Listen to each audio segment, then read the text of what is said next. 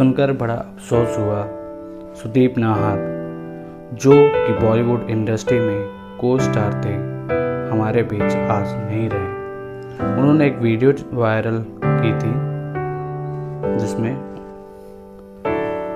उन्होंने कुछ बातें बताई हैं। वो वीडियो मैं अभी इस वीडियो पे नहीं डाल सकता हूँ, क्योंकि कहीं कॉपीराइट का इशू आ सकता है।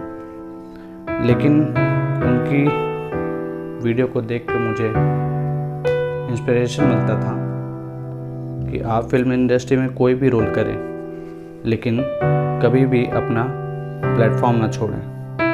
हमेशा लाइफ में आगे बनते रहें। उनकी दो, तीन मूवी जो भी आई थी, मैंने उसे देखा था। मुझे वो बहुत पसंद आई थी। वो एक्टर की तरह ही सही, लेकिन उन्होंने अच्छा खासा रोल किया था। ये सुसाइड से बहुत से लोगों को सतमा लगा है, जिससे मुझे भी सदमा लगा है। मैं भी चाहता था कि अच्छे खासे लोग इंडस्ट्री पे रहें, वो भी हैं बट अब नहीं हैं हमारे बीच। पता नहीं मैं क्या बोल रहा हूँ, लेकिन मैं और ऐसे किसी को May